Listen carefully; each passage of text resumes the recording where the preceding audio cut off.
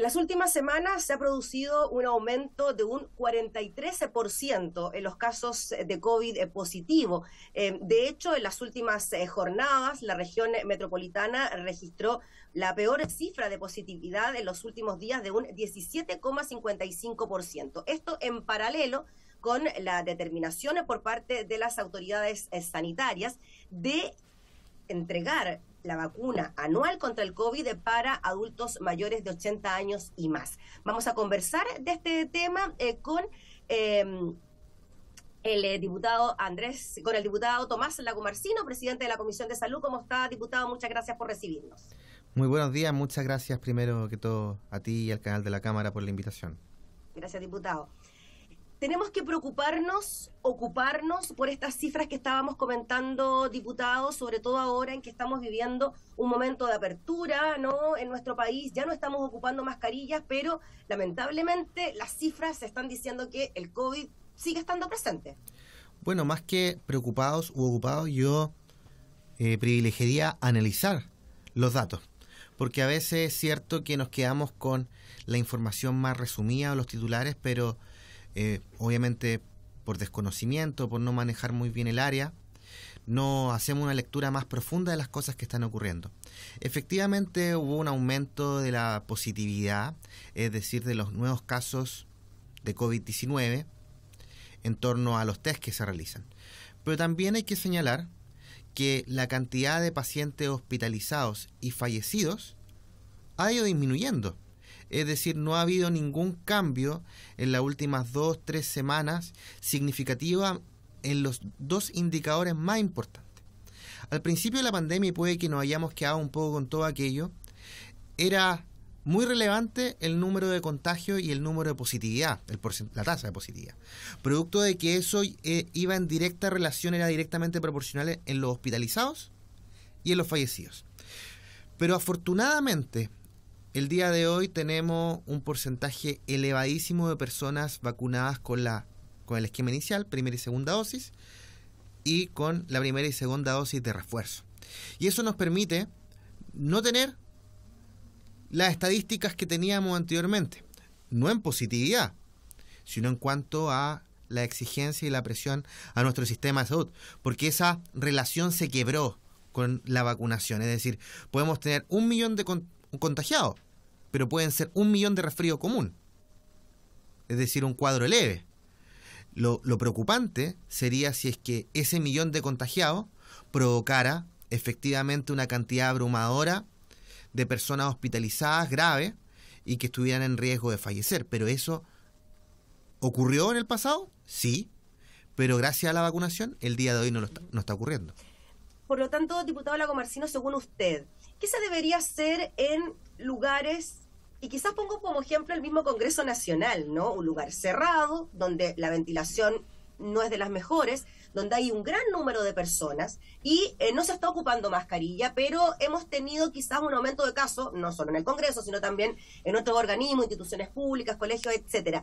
Em, debemos seguir en esta misma dinámica, es decir, sin usar mascarilla y, eh, bueno, aceptando que nos vamos a contagiar, pero como usted dice, eh, de una forma distinta al inicio, ¿no? Con eh, síntomas mucho más leves, un resfrío común, etcétera. Bueno, primero que todo hay que señalar que la vacuna y las vacunas han estado ampliamente disponibles. Y las personas que al día de hoy no, han que, no, no se han vacunado es porque no han querido. La inmensa mayoría.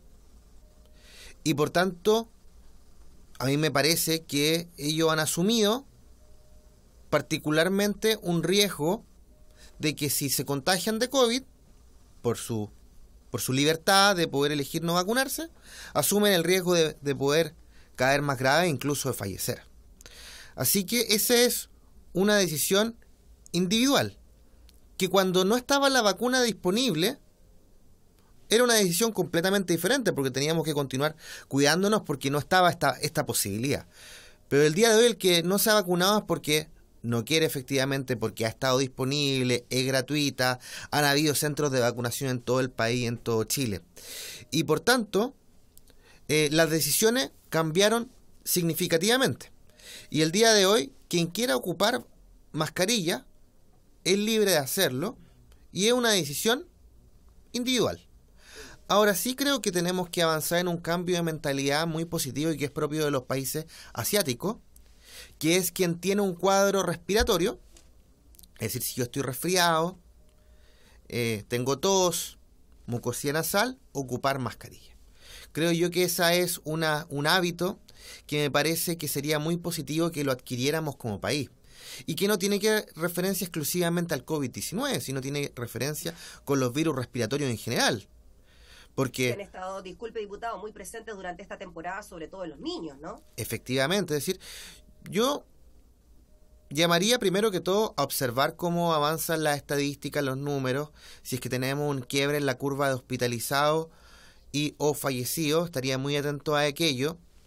Obviamente siempre haciendo un análisis de qué porcentaje de esas personas que caen hospitalizadas en sala general o UCI, eh, si es que están o no vacunadas, porque yo les puedo decir de muy buena fuente que la gran mayoría de los pacientes que el día de hoy están en, eh, hospitalizados en UCI por COVID es porque no, no se vacunaron en su momento.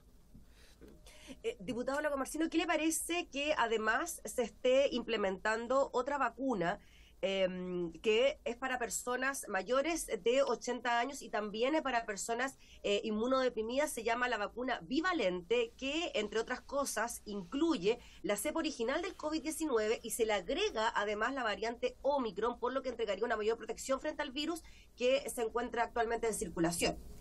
Bueno, la variante Omicron fue una de las más agresivas, así que me parece positivo que efectivamente esté incorporada en esta vacuna bivalente también creo que da señales de que estamos avanzando en la, en, en la estrategia epidemiológica y sanitaria a un momento diferente de la pandemia donde ya la vacuna toma una mayor direccionalidad. Por varias razones. Primero que todo porque todos tenemos ya una inmunidad base. Efectivamente, nuestro sistema inmune, cuando tenemos una enfermedad, infecto contagioso, un virus, hongo, bacterias, genera anticuerpos y genera anticuerpos de memoria, que quedan especialmente en un tipo de, de, de células de la sangre, un, linfocito, ¿ya? De un tipo especial. Y, y esas como que quedan guardaditas. Y, pero nunca desaparecen completamente. Es decir, tenemos uno, dos, no voy a decir no, pero una cantidad determinada de linfocitos que recuerdan cuando combatieron a ese virus, bacteria, hongo si es que nos contagiamos hace poco, es decir, si yo tuve COVID hace un mes, voy a tener muchos de esos linfocitos. Es decir, voy a tener una, un, un, un, sistema inmune muy completamente preparado para combatir este virus. Y en la medida que pasa el tiempo, estos linfocitos de memoria van disminuyendo, pero tienden a nunca desaparecer. Es muy raro que desaparezcan y cuando desaparecen uno tiene que sospechar una, una enfermedad, una deficiencia inmunitaria. Entonces, todo ya con la vacuna o cuando nos contagiamos tenemos en nuestro cuerpo algunos linfocitos que están recordando cómo fue el combate contra el COVID-19. Y por tanto, eh, van a estar ahí preparados. En personas jóvenes, en personas sanas, esa activación de esos linfocitos, de esas células de memoria, es rápida, a pesar de que sean poquitos. Pero las personas cuando ya son mayores o tienen eh, inmunodeficiencia, eh, absoluta o relativa, eh, ese, ese despertar de esos, esos linfocitos de memoria es más lento, entonces se necesita una ayuda. Y por eso esta direccionalidad de la vacuna a la población de riesgo.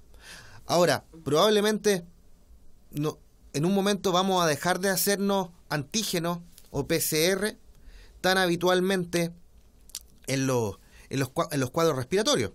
Porque probablemente usted o las personas que nos están escuchando hasta ahora han llevado ellos mismos a su hijo a una urgencia por un resfrío y le dicen, usted tiene un resfrío común.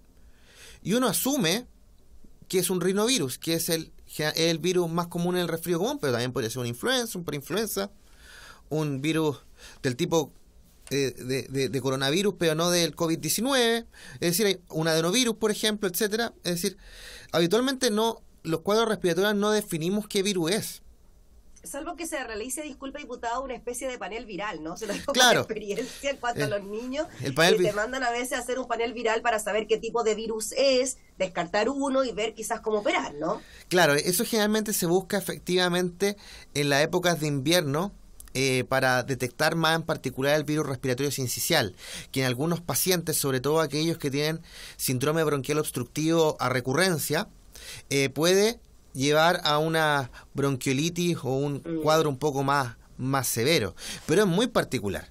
En los niños se puede habitualmente hacer el panel viral, pero en los adultos prácticamente nunca se realiza, porque no genera mayor utilidad, porque los virus son autolimitados.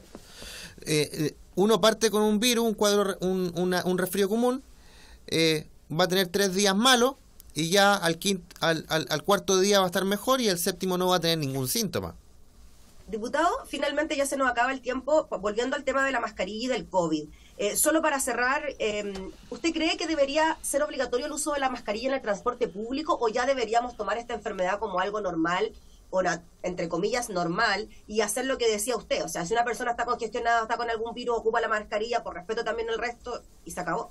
Mire, nada está, en, nada está escrito en piedra, por supuesto, y si todo continúa como ha estado, yo no, vería la necesidad de reinstalar la mascarilla en el transporte público. Si todo sigue como está.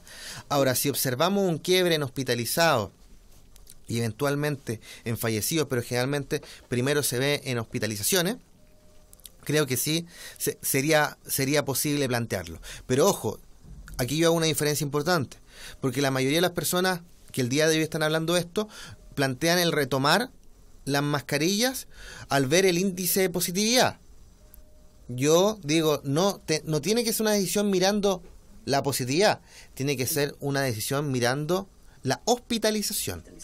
La hospitalización, porque el otro valor, ya o sea, el, otro indicador perdió valor con los niveles de vacunación que tenemos. Ahora sí, yo creo que no solamente en este contexto, me gustaría que para siempre tuviéramos la buena costumbre como chileno y chilena como ciudadanos responsables, no solamente con la salud propia, sino con la salud de los demás, es ocupar mascarilla cuando estamos con síntomas respiratorios. Muy bien, pues diputado Lago Marcino, le agradecemos enormemente por el contacto, por entregarnos también estos eh, consejos y estaremos muy atentos a lo que usted nos decía, analizar los datos y las cifras de hospitalización por COVID. Que esté muy bien. A ustedes muchas gracias por la invitación. Gracias. Era el diputado Tomás Lago Marcino hablando entonces sobre el incremento en los casos de COVID-19 en nuestro país.